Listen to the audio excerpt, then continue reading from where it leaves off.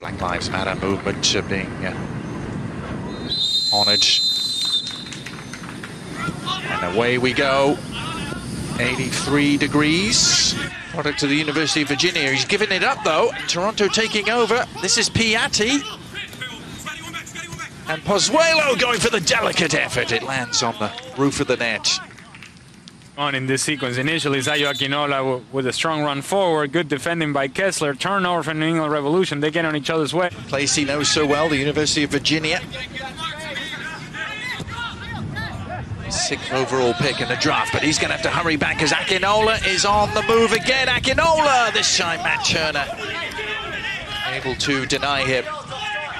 Akinola's last run. And he's onside.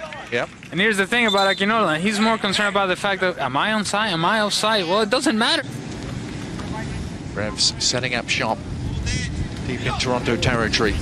And shot from distance as Bono sprawling down to make the save. It comes really out of nothing. Just a throw in, a little give and go. His own rebound for Gundes, trying to make something of it. Will bring Brandon Bye into the build-up. Bye's cross, Bunbury lurking, and the shot is on for Buchanan. He scuffed it a little, and it bobbled agonisingly. Wide of the goal and beyond the reach of Books. Much. You just float the ball into the box, headed back into a dangerous area. There is a chance and there is space for Buchanan, but... Never seen that particular comparison made. That's a good-looking ball, meanwhile, from Kelly Rowe. Will it open up here? Oh, the shot has taken a deflection, and Alex Bono would have been beaten. Diego Fagundes springing forward. That penetrating pass that eliminates lines of defending. Fagundes 1v1 initially. Eventually.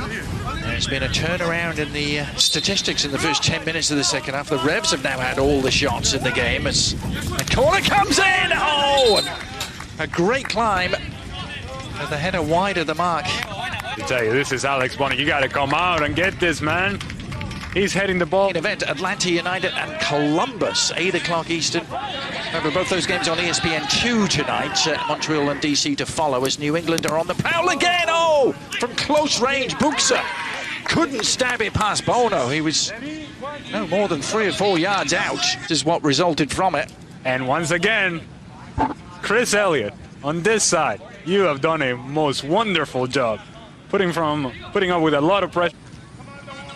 The homegrown product for the Revs as you saw their first ever two homegrowns are out there today. Akinola threatening to break through here. Akinola! But Matt Turner to the rescue. Sticking out a big right hand. Akinola. It's a well-timed run. And Akinola, once he gets into this position, he's being kept on side from Brandon Bye. The moment that... Since March the 7th, coming on for Chris Mavinga.